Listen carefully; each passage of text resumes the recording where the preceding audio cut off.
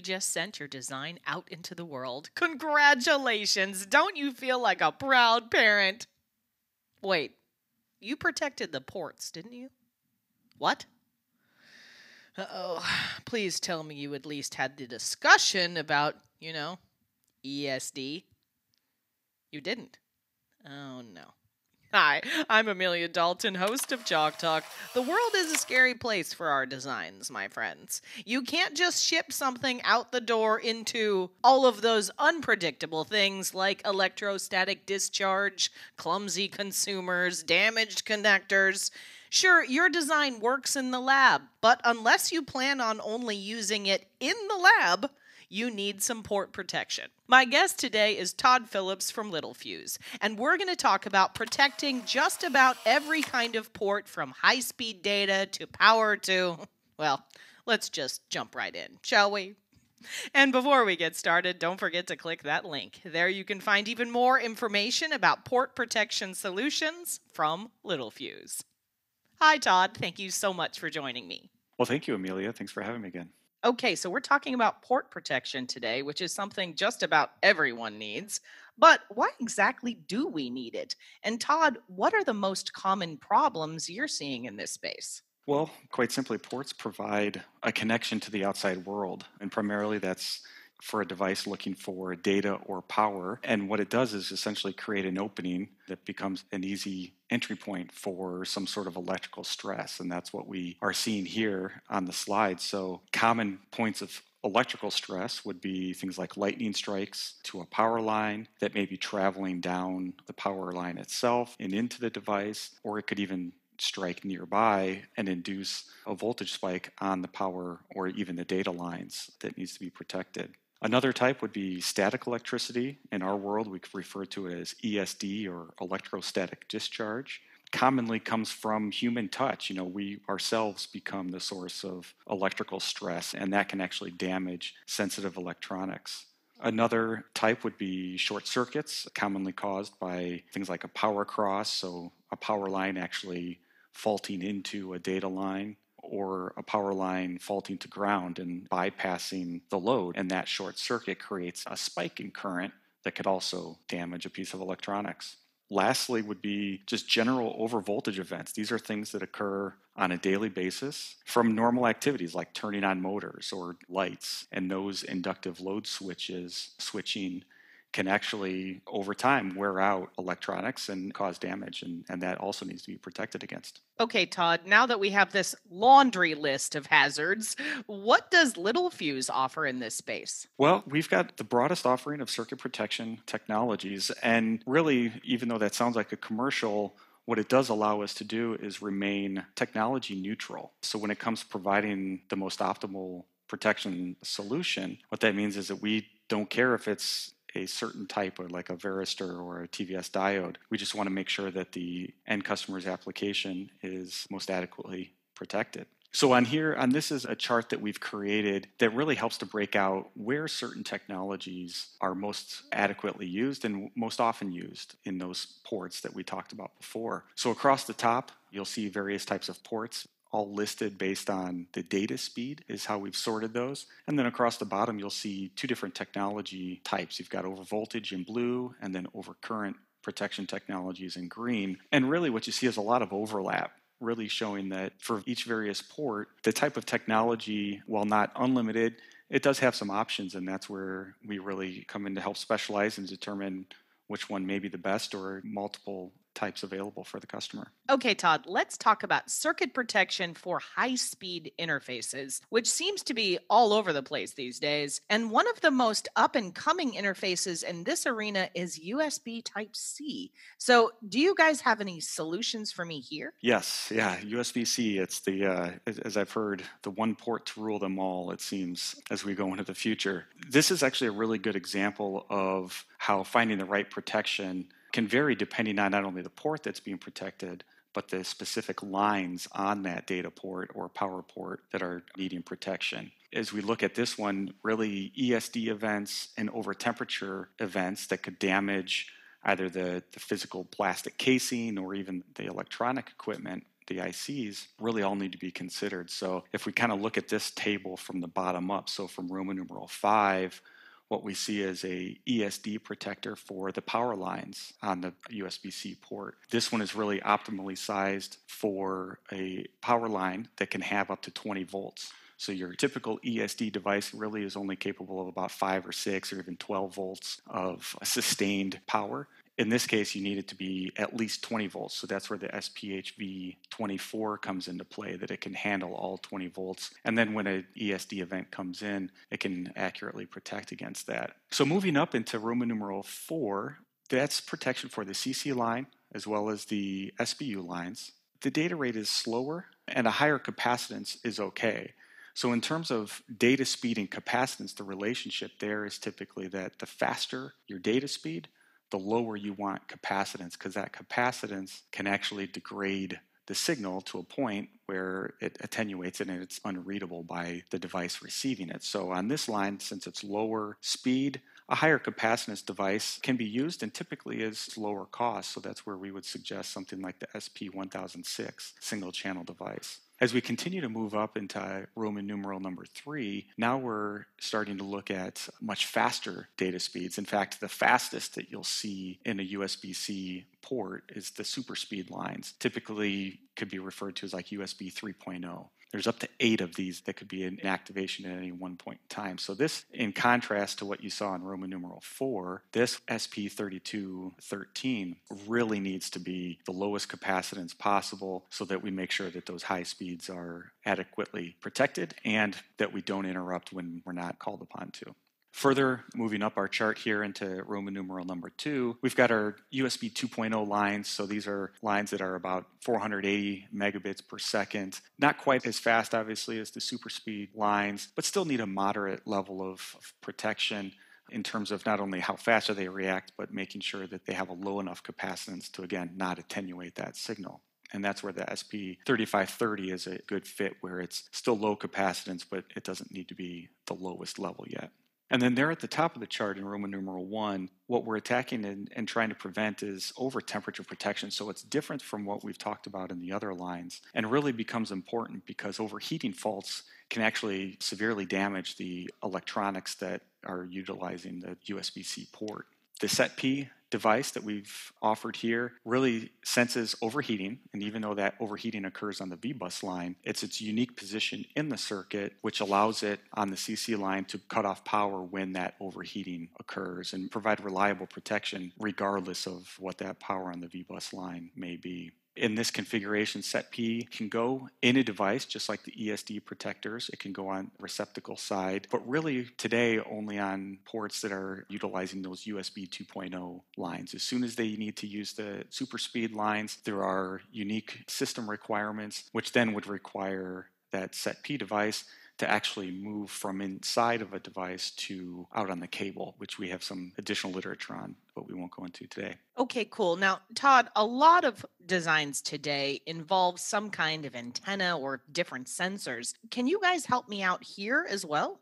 Yes. So antennas typically operate at very high frequency levels. So just like we mentioned for the super speed lines of USB-C, an ESD protector here needs to have really low capacitance. And that's a case where a polymer ESD protector like our XGD series provide a unique combination of not only the low capacitance, but as often is the case with antennas, they can be susceptible to high levels of ESD. So that polymer ESD device is going to be able to handle a high strike event like 30,000 volts potentially. Looking at the sensor inputs, so these are definitely increasing in their usage as more and more devices are adding sensors for just gathering information about the environment around that piece of equipment. They don't typically require very fast data signals, but they do often require fast protection because of how sensitive the control circuitry may be. And that's a, a case where the SP3522 provides a nice fit of not only ESD and moderate surge level protection, but comes in an extremely small package, which is as small as 0201. Okay, so Todd, one of the coolest things I've seen in this arena lately has been power over Ethernet but I'm not sure where exactly we stand with power over Ethernet today. Well, since it was created, it's really continued to evolve, really increasing in power with each iteration. So it started as just PoE or power over Ethernet. And then as power was increased to 30 watts, it became PoE plus. And now we didn't get very inventive with the name, but it became PoE plus plus. So it's now up to 90 watts. And really what that means that there's more current and energy possible, not only to power devices, but that could be potentially relating to higher risk of a fault event. And it's this high higher power now that is enabling more and more applications. So we'll see this used in many different applications that previously couldn't use it, such as power over Ethernet lighting applications inside of an office building being able to provide not just the power there, but also data as it may be necessary. So, Todd, that makes absolute sense. But what exactly do I need to know when protecting power over Ethernet? Well, the first thing to remember for any Ethernet application is that really the optimal protection depends on where it's being used and the amount of exposure that that location may have to electrical hazards. So things like GR 1089 as a standard provides some good reference to what testing could be done to select the right components and know that you have adequate protection. One of the tests they require would be a power cross test in the way that the circuit is protected would require a fuse. So like the 461 fuse can not only protect for a power cross event as a short circuit type of event, but it would also be able to withstand the, the surge levels that are adequate for that outdoor connector. SIDACtors, as you see down there in Roman numeral 2, kind of at the bottom of the slide, those provide surge protection on the lines that actually have the power. So the ghost power that's created on power over Ethernet gets separated off and fed into a power controller so it can actually be used as real DC power. And those lines are protected primarily by a, a SIDACtor. And then in Roman numerals 4 and 5, as those indicate, additional protection may be required from like a TVS diode to further knock down or clamp that surge so that sensitive electronics can survive long term. The diode array there that we see at Roman numeral 3 is SP2555. That provides ESD and surge protection for the Ethernet PHY itself. Remember, these are just starting points for Ethernet solutions. These can greatly vary depending on the PHY that's being used, how sensitive it is, and as I mentioned before, what exact exposure the entire circuitry may have to electrical threats. Okay, so Todd, what about other Ethernet ports and does the protection change? Well, it may, definitely. So for indoor applications, it can be as simple as meeting just a basic ESD level of protection. So a single diode array placed after the transformer, like the SRV05 diode array, can be more than sufficient to protect the Ethernet PHY in this case. As we look outdoors, the environment will be much more harsh and potentially have a much higher electrical hazard level, the diode array needs to become more capable. So something like the LC03 would be able to handle a higher surge and provide additional protection. For additional protection on the primary side of the transformer, a GDT like the CG6, as well as, again, bringing back the fusing for the power cross, the 461 series, provide that primary side protection that would be required at a higher exposed port. Okay, cool. So, Todd, let's slow things down a little bit and talk about lower speed applications. So, what does circuit protection look like here?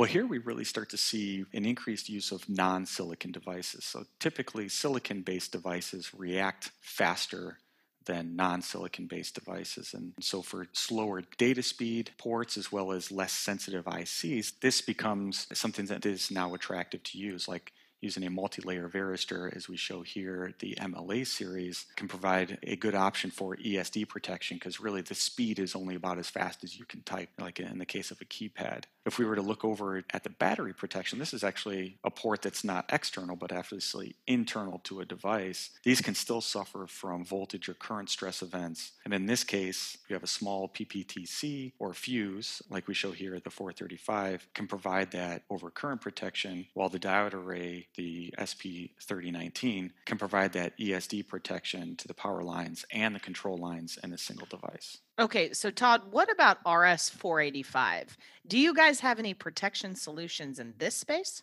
Yes, we do. So, similar as I talked about for Ethernet protection, the protection of an RS 485 line definitely varies by, again, the exposure level. So, it's not just a one size fits all or starts for all. For an indoor or intra building application, a PPTC and diode array combination will provide sufficient overcurrent in overvoltage protection. But if the port connects to a rooftop unit like an HVAC condenser unit, the PPTC would remain and still provide overcurrent protection. But now what you see is coordinated protection scheme with GDTs and SIDACtors. And now the PTC not only provides overcurrent protection, but it also acts as a coordinating element between those GDTs and the SIDACtors to ensure that they fire at the right times and provide the accurate level of protection that's required for something like that HVAC unit to be able to communicate and make sure it turns on and cools the factory floor accurately. That makes sense. So, Todd, what are some of the other interfaces you mentioned at the beginning, like CAN, LIN bus, or SIM or microSIM?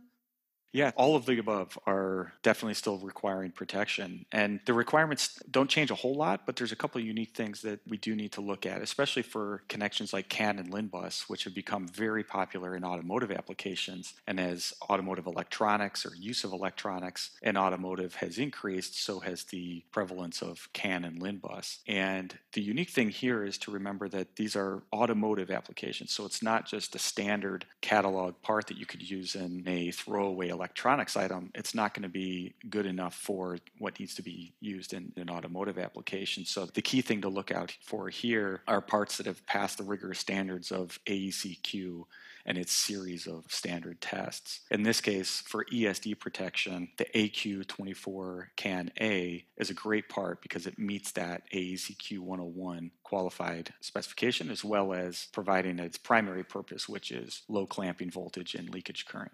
The SIM sockets, while not incredibly sophisticated in terms of being new or exciting, still require protection. And in this case, it's one that's very familiar to many, but we do like to still mention these because we don't want to overlook some of the areas that are too familiar. And in this case, this is one where multiple single devices may not be necessary. A single device itself with multiple channels, like the SP1001 05, could be a really good part because it's a single part providing protection for multiple channels all at once. All right, Todd. So, what about power only ports? Can I use the same protection as a USB port? Well, no, quite simply put. So, an AC port, it typically is, has the highest level of hazard potentials of any type of input port. And this is where we really see the prevalence of fuses and varistors primarily being used. The exact sizing of those devices varies depending on how much power or exactly what you want to plug into. So you're not going to see the same protection on something plugging into your wall at home as a motor may need in a factory. But the elements and the basics still remain and are equivalent. For most electronic equipment, a cartridge or cylindrical fuse is definitely sufficient to provide overcurrent protection. Something like the 313 series, where it has enough current carrying capability that it's not going to disrupt the power when you don't want it to. In that same relationship, it's not going to nuisance trip due to surge events, but it also, when it does need to react,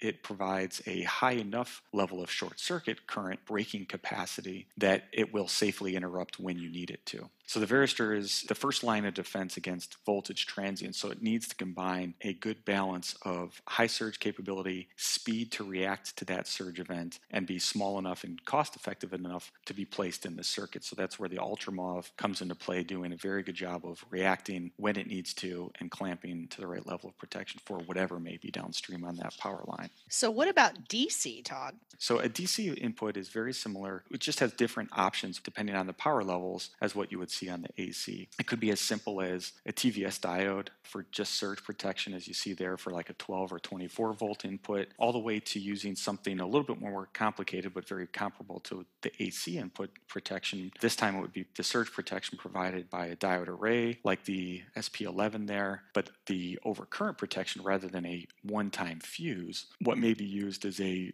resettable PTC that what this would indicate is that it's a circuit that would need overcurrent protection more than just just one time. So it's something that you wouldn't want to necessarily replace that fuse or even have access to replacing that fuse time and time again. Okay, so Todd, if I need more information about all the different flavors of port protection, where would I go? And do you guys have any additional resources for me? Yeah, so everything that we've seen here is available on our website. So the breakout of port protection by individual port, as well as additional ports. So some that we did not cover here today are all included in that guide. And then if the selection needs to go beyond this first level of options. We offer the tools to further select that part so you can get into the granular nature of selecting the right PTC or a specific TVS diode for an application that may not exactly fit the general requirements of what we laid out. So there may be some unique aspects for a particular design that, that we'd be able to cover through those tools. Now, since Chalk Talk is a global show, are you guys supporting people throughout the world? Yes, absolutely. We have sales teams and engineering teams, local FAE support located throughout the globe, and it's just a matter of actually on our website you can find a number if they don't have it, but definitely feel free to reach out to those folks that are there and available to support any design activity going on locally. Okay, Todd. Well, I think that's all I have time for today. Thank you so much for joining me. All right. Thank you, Amelia. And before we go, you didn't forget to click that link, did you? There you can find even more information about port protection solutions from Littelfuse. For Chalk Talks, I'm Amelia Dalton from eejournal.com. For more Chalk Talks, head on over to the Chalk Talk section of EE Journal. You can't miss it, it's right across the top. Or head on over to YouTube, youtube.com slash eejournal.